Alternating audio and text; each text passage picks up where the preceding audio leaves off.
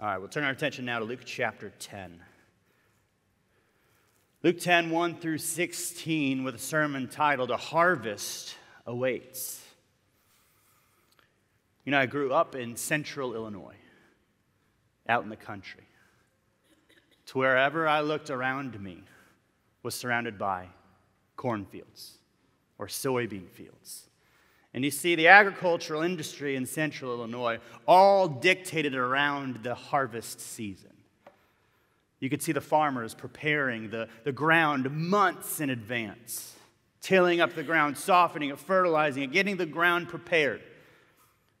They plant the seeds, continue to water it and see that it's fertilized and bring it up, and then it's just really a waiting game. And you could see as the, the, the, corn began to grow higher and taller to where you couldn't even see through it. It would start to change from a, a crisp green to more of a faded brown, and it's coming time. The next week or two, it's time for harvest. Day after day, you'd wake up in the morning, you'd see, oh, it's not time yet, apparently, which is why I'm not a farmer, right? But it would come that day where you'd wake up, see the sunrise, and already the combine's going. The harvest was just at this specific time, according to the farmer of the fields. And so, as we come to our text in Luke chapter 10, a similar imagery is going to await us. That just as the farmer of his field will await until the right appointed time to begin harvesting the yields of his fruits of his labors, so Jesus is going to survey the landscape, the spiritual landscape of the world at the time and tell that the harvest is now.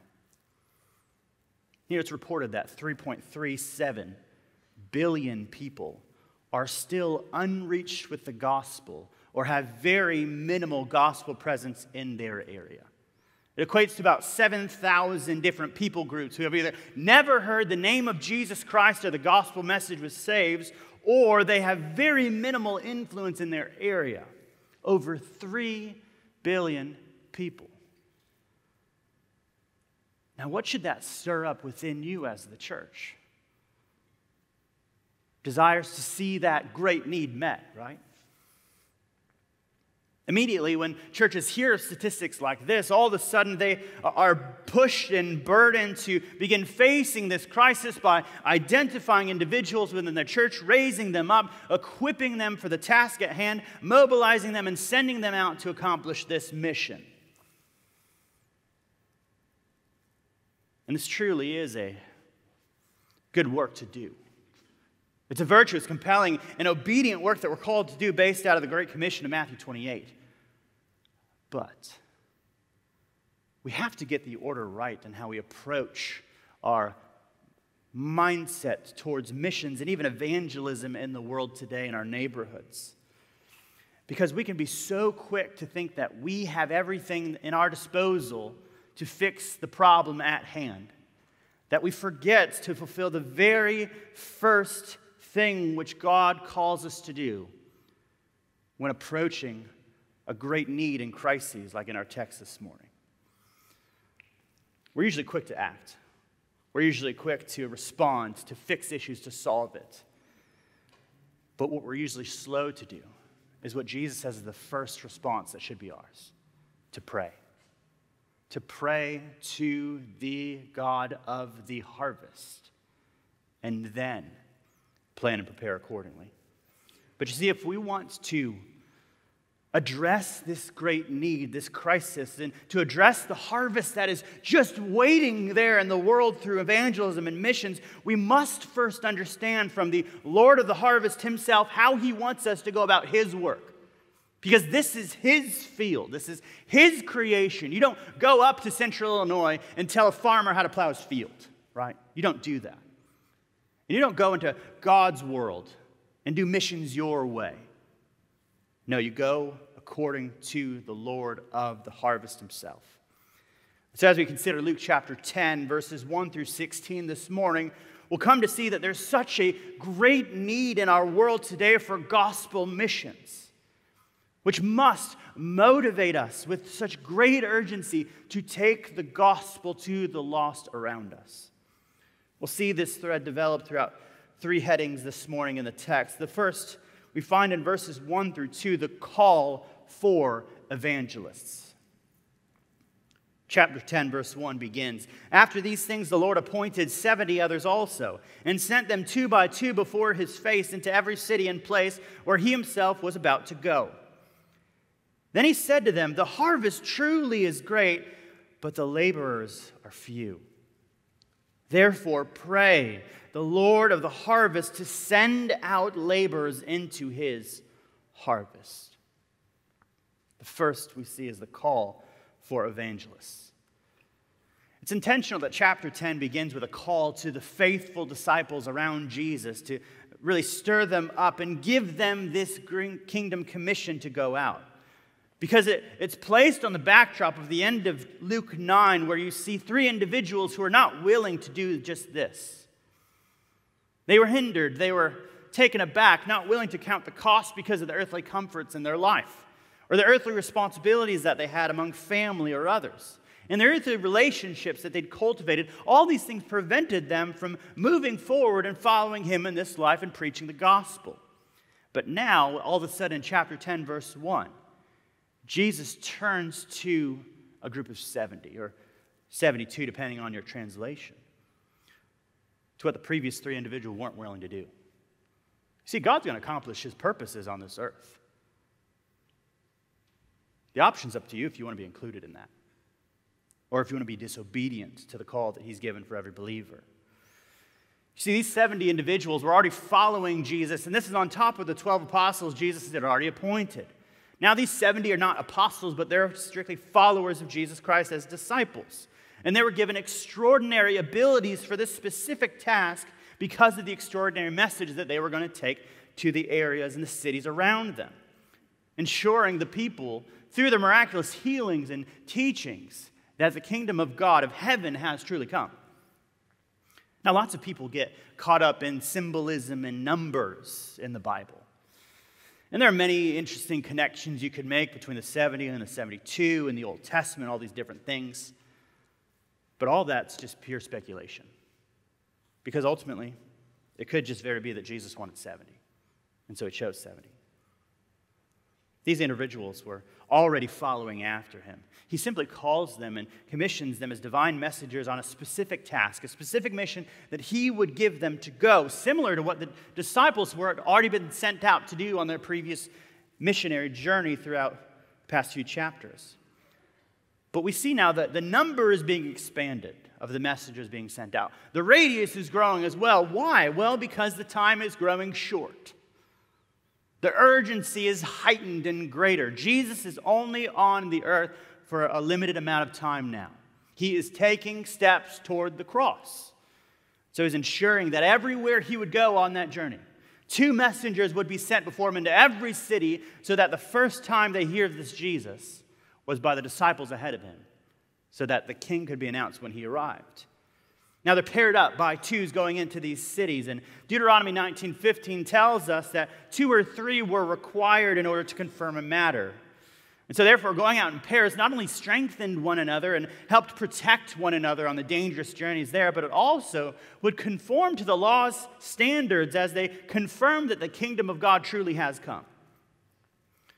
In verse 2, we uh, arrive at record such a remarkable statement that should both motivate and fuel every single believer in Jesus Christ to take the gospel to the lost around them. Jesus says this The harvest truly is great.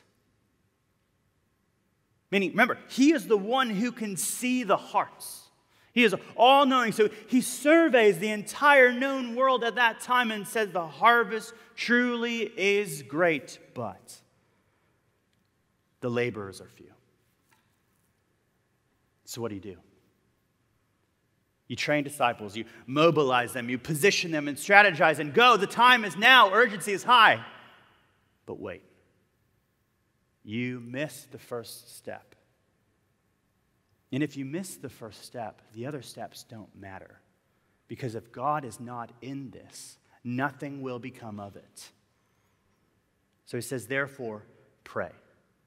Pray the Lord of the harvest to send out laborers into his harvest. Why is it that there are so few laborers among them? I mean, chapter 9 was filled with reasons why. There is a high cost for following this Jesus. You would have to deny yourself, take up your cross willingly, and follow after him, setting aside the earthly comforts, the earthly responsibilities, even the earthly relationships of this world if it calls for it. And so we understand why not many are willing to rise to that cost and follow him. But you see, we can get overly excited and overemphasizing our abilities and our powers and what we can do as human beings in God's great world. That many churches go straight to their own vision of how they would see missions to be done and going about the strategizing ministries. They would send people, and all these things are all in the name of the Great Commission, but they don't first pray. And that is the most important step. What happens if we don't pray before going? We're acknowledging with our actions that we are enough for the task, that I possess everything sufficient to do this spiritual work. Does that not sound familiar to chapter 9? The disciples thought the same thing and they failed to remove this demon from this young boy. See, all these steps of strategizing and mobilizing, training, all those things are good. But they all must be set on the foundation of prayer to the Lord of the harvest. Otherwise, the foundation will fall beneath. So the first step is to pray. And you say, okay, yeah, I got it, right? I know we're supposed to pray. But then what? No, you missed it if you think that. You've missed it completely. You're still indicating that you think that mankind is enough to do this spiritual work. Dear ones, God is the only one who can do any sort of spiritual work in us. But He uses us to complete that, but only as we're dependent on Him. You see, we must go to the Lord of the harvest. We must go to the head farmer to see how he would have his field to be plowed, how to be harvested, how to be prepared, how to be cultivated. So we have to understand through the scriptures. And the first thing, when he calls these evangelists, and spoiler alert, these aren't just evangelists, these are just Christians. These are faithful believers who are called to take the gospel to where he would tell them to go. But you see, prayer is the responsibility of every Christian regarding missions. See, not everyone is intended and meant to go overseas. We talked about that, right? Not everyone's meant to sell everything they have, uproot their lives, and go overseas for gospel missions. But every single believer is called to pray for missions, to pray for the gospel, to go forth in their neighborhoods, in their cities, in their states, their countries, in the entire world. And everyone may not be called to move your entire family. But God has placed you exactly where He wants you so that you would evangelize those around you. Within your families, within your neighborhoods, your office, your schools, wherever you find yourself. But what must we do first? We must pray. We must pray for God's help, for His guidance, for His discernment, for Him to bring people across our paths with softened hearts, to be receptive to the truth of God's Word, and then follow after Paul's model and pray for boldness to take advantage of those opportunities when they do come. But before we get busy with strategizing and mobilizing and moving, First comes prayer for God to raise up his workers, for God to raise up his leaders, his faithful followers. But next, if you're truly praying for God to raise up individuals to meet the need of the gospel in the world around them, you have to be ready to be the answer to your own prayer. You have to be ready to go yourself. May not be overseas, but it may be the cubicle across from you to the person you've known for 20 years and you've never shared the gospel with them once. Be prepared to answer your own prayer to go to your next door neighbor and to bring them, invite them into your home, to build a relationship, to give them the gospel truth. This is where the next section of our text comes. Those who God calls to pray first for evangelists, then he commissions them to go and meet the need they just prayed for. Look at verses 3 through 9, the commission of evangelists. Verse 3 Go your way. Behold, I send you out as lambs among wolves. Carry neither money bag, knapsack, nor sandals, and greet no one along the road. But whatever house you enter, first say, Peace to this house. And if a son of peace is there, your peace will rest on it. If not, it will return to you. And remain in the same house, eating and drinking such things as they give, for the laborer is worthy of his wages. Do not go from house to house. Whatever city you enter and they receive you, eat such things as are set before you, and heal the sick there, and say to them, The kingdom of God has come near to you. So, after he first calls the disciples and these evangelists together, he calls them and tells them to pray. And then he commissions them now that you've prayed, now go. For they are the answers to the prayers of others to take the gospel to the world around them. It's not optional for them. They are being commissioned to obedient as evangelists to take the news of the kingdom of God to those who are lost around them. And Jesus provides throughout verses 3 through 9 many important qualifications for their work. They don't just do whatever they want, there are specific guidelines in which they must operate. He was first gives them a description. He's sending them out as lambs in the midst of wolves, which means that they would face hostility. They would face spiritual warfare along the way. Remember, Satan still has his outposts in play here in this text, just as he still has his outposts in play in our world today. He's against any such spread of the gospel, for he, he wants his kingdom to stay intact as long as possible before he knows his own destruction and demise is coming. So the disciples were sent out as lambs in the midst of wolves. So, what should they bring? Lots of stuff, right? To protect themselves, to prepare for any such encounter they might have. No, this sounds familiar, right? Just take what you got. You don't need any more supplies, for He will provide everything along the way. But Jesus also tells them to not greet anyone along the way. Seems a little bit different, seems a little cold and harsh in our context, but we have to go back into their time period and culture understand that. Many greetings were drawn out, would include many hours together, meals, maybe even stays at days on end, especially if they're family members that you come across in the cities. It could take even weeks. So Jesus is really telling them there's no time for delays here. The utmost urgency is required in this kingdom mission. But you see, someone who is in such an urgent mission would be excused from the customary greetings of this day. But you, you kind of know what this is like, right? You know, there's certain individuals that if you get caught up in conversation, you're banking at least an hour, right? And if you're in a hurry somewhere, you might just like, I need to slip out so as to not get preoccupied. It's not, you don't want to be mean or rude, but you, you have somewhere you need to get to. There's urgency that's there, right? And such as we see here, Jesus says, keep your head down, stay focused on the task at hand, which also would prevent them from taking maybe a detour to go visit family members, right? Turn this into sort of a little bit of a vacation, a work vacation type of thing. No. The mission is simple. The task at hand is most urgent. No delays can be had. And the rest of the text says that they're supposed to be content with the lodging and accommodations which are provided for them. Find one place in each city and stay there. Eat whatever food they have. If you hear down the street that they're making this awesome meal, the food's better at Susan's house down the street. I'm going to just hop over there for the rest of my stay, right? No, none of that. Stay focused. Be content. God will provide what you need. It may not be what you'd like, but it's what you need.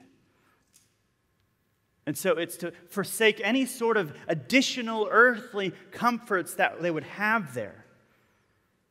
Because you see, what must distinguish themselves as disciples and followers of this kingdom, whose entrance is now available to sinners, was they were to distinguish themselves from traveling itinerant teachers of the day, who they were not to look for extravagant, luxurious accommodations to comfort themselves, because the message they were giving was regarding the nearness of their eternal kingdom. But you see, nothing minimizes the urgency of the kingdom message like getting comfortable in the kingdom of this world. Nothing reduces the urgency that this life is but a vapor and a breath and eternity is coming. Sins will be paid for, but there is a gospel that saves and is extended to all. Nothing reduces that urgency to nothing as comfort. And we saw this last week, did we not? The first one, the earthly comforts. They can be both a blessing but if abused, can be one of the greatest hindrances to obedience to the gospel. Because in the name of comfort, we are willing to sin and neglect obedience and evangelism. In the name of comfort, we grow lazy, sluggish, really by our actions, revealing that the kingdom of God really isn't that urgent. We're good where we're at. So Jesus says, do not delay. Don't look for these earthly comforts. Stay on task. The mission demands it. But verse 9 gets the heart of what they were commissioned to actually do. They're to spread the news that the kingdom of God is at hand, because the king is at hand and he would arrive shortly. To show that these were no ordinary messengers, Jesus gave them this specific ability, not just to preach the gospel with such clarity, but the power to demonstrate that this kingdom is not of this earth, but of heaven, of the creator of heaven and earth. So they were commissioned not just to preach this message, but to heal those around them to show that they serve an all powerful king who is calling them to repentance. But you see, these instructions really reveal that God's messengers, they must conduct themselves with the fullness of integrity and character to stay on task in the mission so that they wouldn't diminish or contradict the message that they give. Which is such a good reminder because every true believer in Jesus Christ is a messenger, is an ambassador of Jesus Christ. You represent Jesus Christ on this earth. And we too are called to take the gospel to those around us. But how you conduct yourself along this journey will either validate or undermine your message.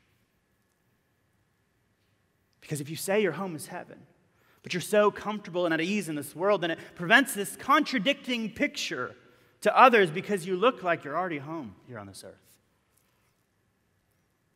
You see, the call has been made for these disciples to rise up and take this commission for evangelism seriously. They've been given specific instructions on how they are to conduct themselves and what they are to do and what they are to bring or not bring. But Jesus next is going to give them very explicit clarification. Do not expect everyone to receive this message. In fact, many will reject it. But when rejection comes, you have to understand, disciples, that they're not rejecting you, they're rejecting me. And if they're rejecting me, they're rejecting the Father. Let's look now at verses 10 through 16, the condemnation for rejection. We've seen the call, we've seen the commission of evangelists.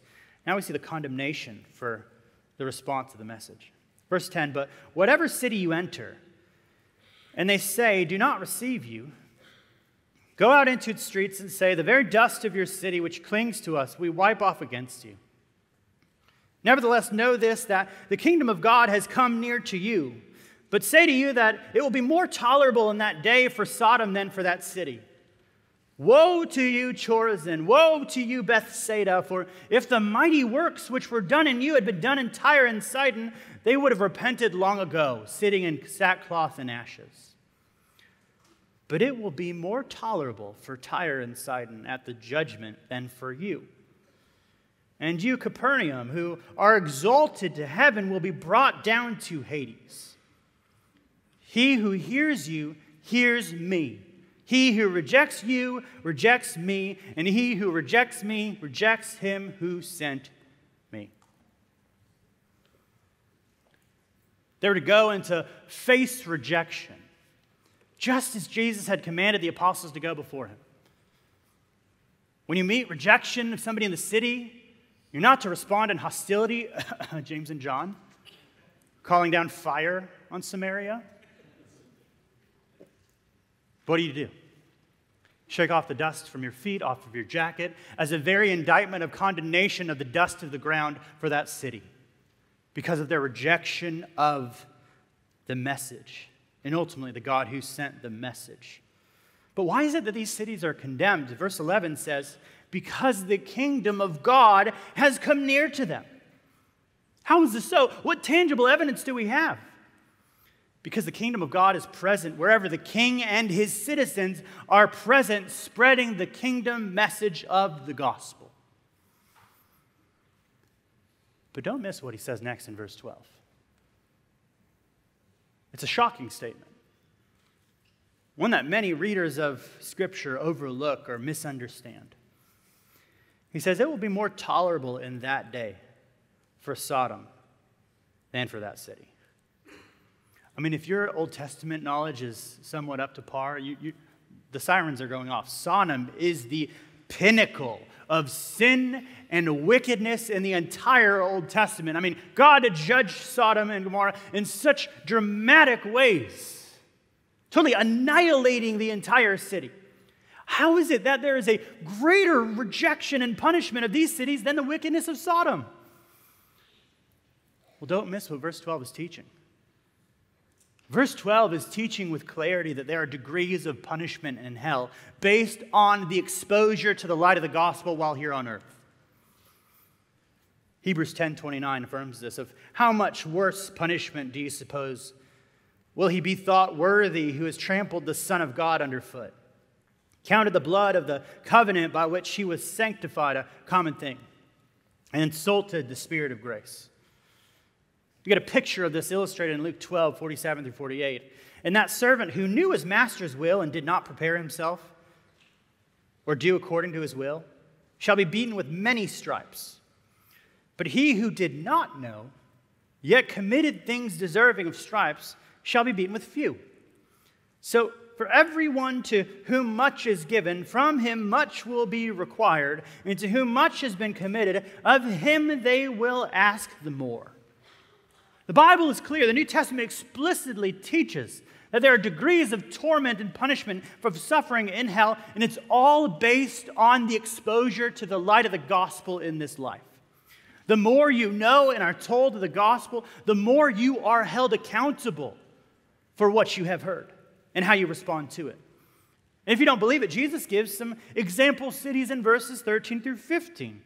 He says it's going to be worse for Chorazin and Bethsaida than for Tyre and Sidon. You see, Chorazin and Bethsaida were villages in Galilee with a significant Jewish presence. I mean, Bethsaida itself was the hometown of Andrew and Peter and Philip. You'd think that a, a town or a city that produced some of the disciples would be elevated and blessed because of it. But on the contrary, Many great miracles were done in these cities, yet were met with rejection and unbelief. But if you go back to the Old Testament and understand from Tyre and Sidon, these were Gentile cities north of Galilee, and really these represent the pinnacle of idol worship and evil in the Old Testament. I mean, Ezekiel himself pronounced judgment against him, but Jesus says that even the same miracles that were performed in Chorazin and Bethsaida if they were performed in Tyre and Sidon, they would have repented in sackcloth and ashes. Meaning, the exposure, the greater exposure to the truth of the gospel, which Chorazin and Bethsaida had, means they are held more accountable for their greater rejection. The greater the knowledge of truth and the greater rejection means the greater the condemnation and punishment.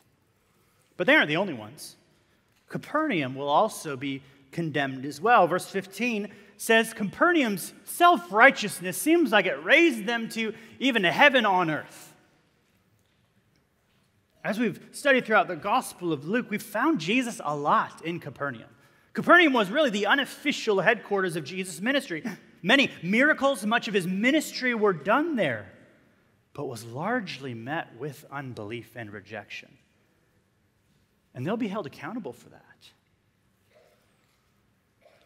One writer describes it this way that this teaches us that all will be judged according to their spiritual life, and that from those who have enjoyed most religious privileges, most will be required. They teach us the exceeding hardness and unbelief of the human heart. It was possible to hear Christ preach and to see Christ's miracles and yet to remain unconverted. Which really leaves us with some of the most important considerations from the text this morning. The first of which is that you will be held accountable for the truth of the gospel that you hear in this life. Do not misunderstand. There is no neutral response to the gospel of Jesus Christ. It either softens or it hardens.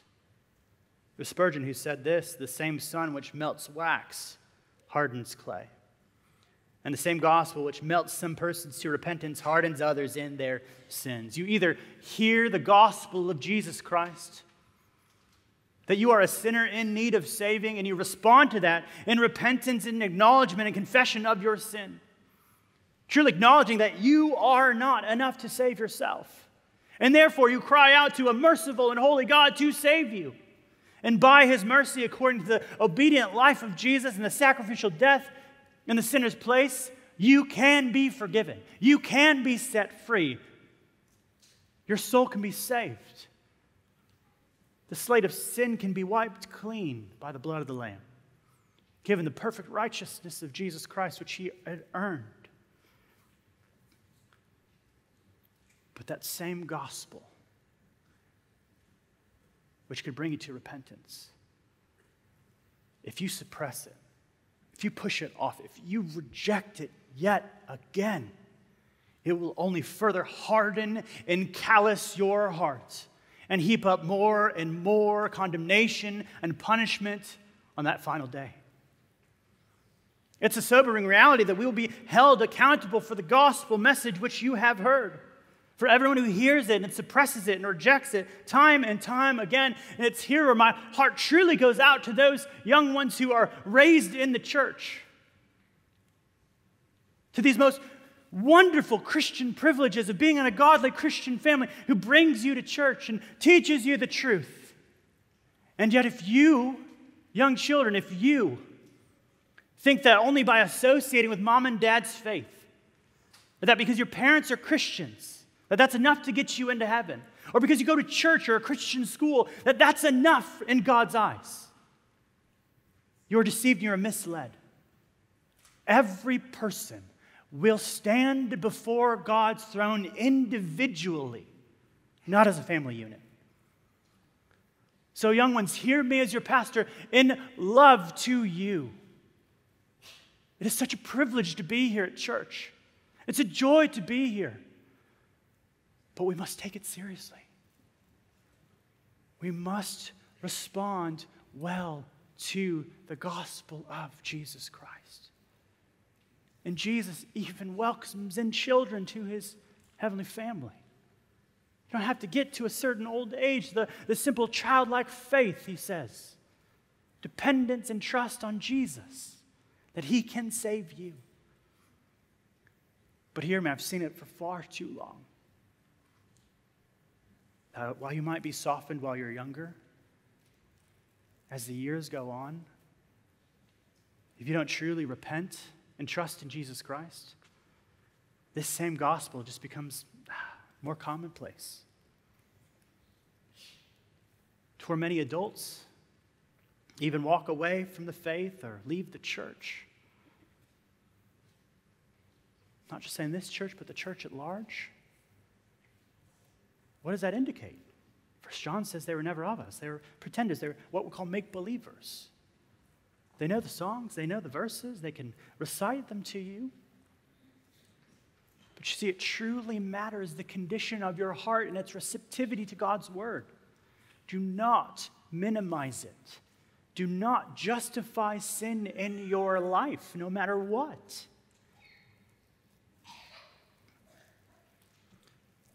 So, really, take the examples of the cities in the text this morning. No more pretending. No more games. No more playing the part of the Christian just maybe to please mom and dad. Kids, your parents want to know truly where you're at because they love you. They want to help you. Your church loves you and wants to help you with this. You don't need to pretend. But you do need to humble yourself and respond to the gospel in knowing that you are a sinner and asking Jesus to save you by his mercy, by his grace. And we know with confidence when you do that, for everyone who calls on the name of the Lord will be saved. It is a promise. There's no ifs, there's no ands or buts about it. There's only one name under heaven by which mankind can be saved, and it's Jesus Christ and Him alone. You are not good enough in and of yourself. No one outside of Jesus Christ is, and that's because if we're included in union with Him, we can be good enough because He was good enough. And that's the only way. So may today be the day of salvation for you. Don't put this off anymore because there's a time where you will not be as receptive as you are right now. If you suppress it, you're forming another layer of callous over your heart, further walking into this judgment in the future. But you see, if you've responded in repentance and faith to the gospel, you have to understand that once you're saved, you are now in the family of God. Your sins are forgiven. You have all the inheritance and blessings and riches of Jesus Christ, which He has earned. But the work has just begun because we are able now to join in the ranks of Christ to evangelize this lost and dying world. There's no such thing as being saved and then sitting on the sidelines. In fact, those who think they're saved and they're sitting on the sidelines, there's really one category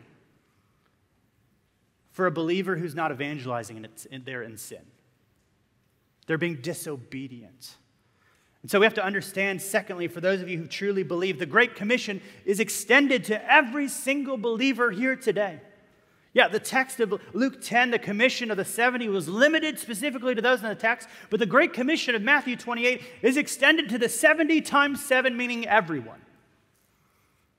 Hear the words, the familiar but powerful words of Jesus in Matthew 28 18 through 20. And Jesus came and spoke to them, saying, All authority has been given to me in heaven and on earth. Go, therefore, and make disciples of all nations, baptizing them in the name of the Father and the Son and the Holy Spirit. But the commission does not end there. There are far too many who, for the sake of the gospel, will abandon all of the rest of what Jesus has taught them. But you cannot reject the second half of the commission in name of the first one. So much in the name of evangelism has forsaken the doctrines of the truth of God's word that we just need to get them saved. But the ultimate goal of this, the ultimate goal of God is not to save sinners, but to glorify his great name. And that's why we're here on this earth. That is what we're called to do. It's not enough. It's not enough to get them saved and our man centeredness, selfishness, we think that's the goal. But what glory is there to a God who saves you for you to just turn your back on his word and live however you want to? There's no glory in that. We must remember the ultimate goal of God, and it is his glory. Everything else in this life, even the salvation of sinners, falls underneath bringing God glory, not ourselves. You have to see there's a parallel between the go in our text of verse 3 and the go command in Matthew 28 19. Just as these disciples were called to take the message of the gospel and go and take it with them, so we're called to take the message of the gospel, which really we have a more complete message because we're on this side of the cross. Knowing the fullness of the revelation of Jesus Christ, not just that he brings life, but that he would give of himself on that cross, that he would not stay dead, but it would prove that the wrath of God had been satisfied, and he would send back to the Father on high, showing that it is complete and it is finished. We have the fullness of it. We actually have more of the message than the disciples did at this time.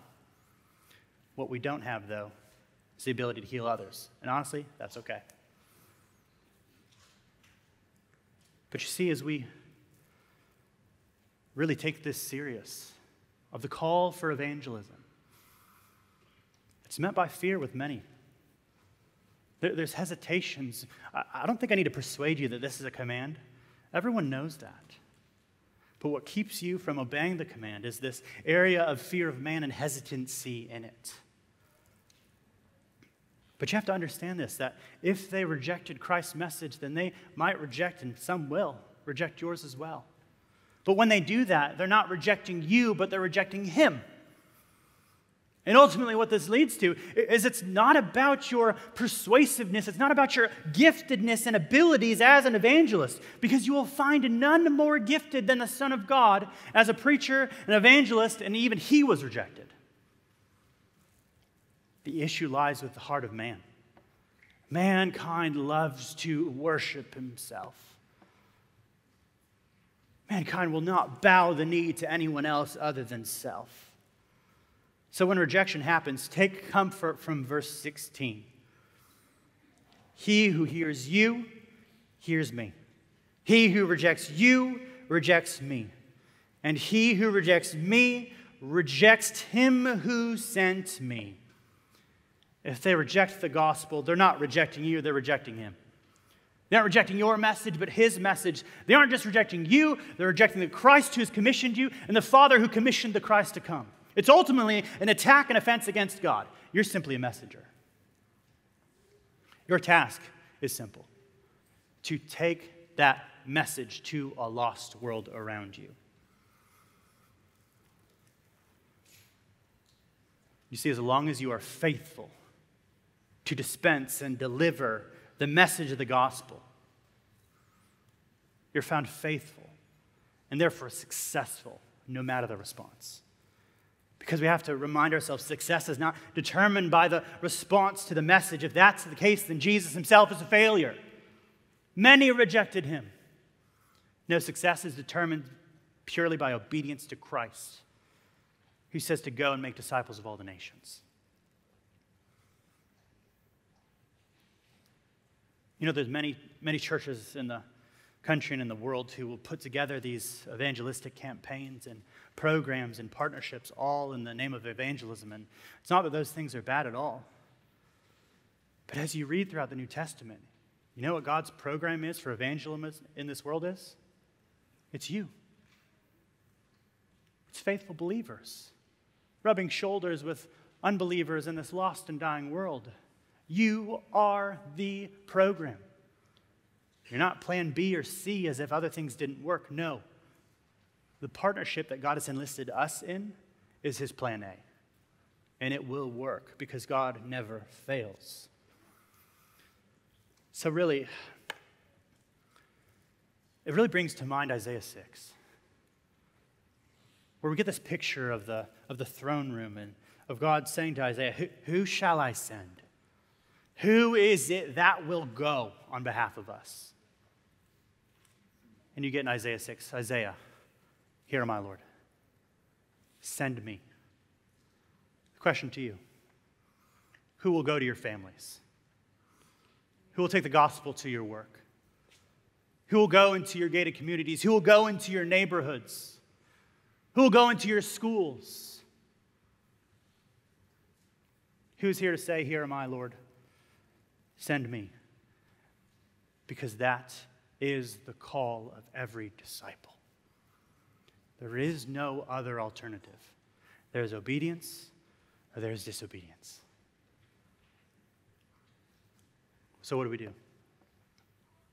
Step number one's clear. We must pray to God to send more laborers into the fields because the harvest is plenty. But be prepared to answer your own prayer by taking the gospel to the people God's already placed around you. They are the field. You're already there. He doesn't need to send you, He's already sent you. Will you be faithful? Simply to obey. Not to convert the masses, The responses are left to God. Are you faithful to be a messenger? And we don't water down the message. Galatians 1. There's only one gospel that saves. And we need to make sure we dispense it with faithfulness so that we would be found faithful. But ultimately, even above that, God would receive the most glory. Let's pray. God, it's a difficult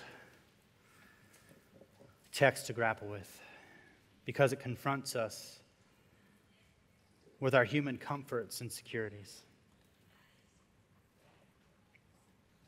Lord, I do pray that you would forgive us for our selfishness, forgive us for our laziness, forgive us for our complacency of finding too much of our comforts here in this world. Lord, I do pray that you would raise up more faithful laborers of the gospel, that you would raise them up from this very church. Future pastors, future missionaries, these future faithful disciples who are willing to step out in faith and obedience to you to evangelize where you've placed them. Lord, I do pray that you would provide many opportunities and conversations before us in the context of our lives. And Father, when those times happen, I do pray that you would give us the boldness that even Paul asked for to not shrink back in the fear of man in the midst of these divine opportunities you've given us. But Lord, that we might be found faithful, that we might be found successful and pleasing before you, leaving the results to you. But we do pray that you would save many sinners through our efforts in the coming years. Not for our sakes, not even for their sakes, but for your glory. Father, help us to apply this word in truth, not just being a hearer this morning, but doers. We pray this in the sufficient name of Jesus. Amen.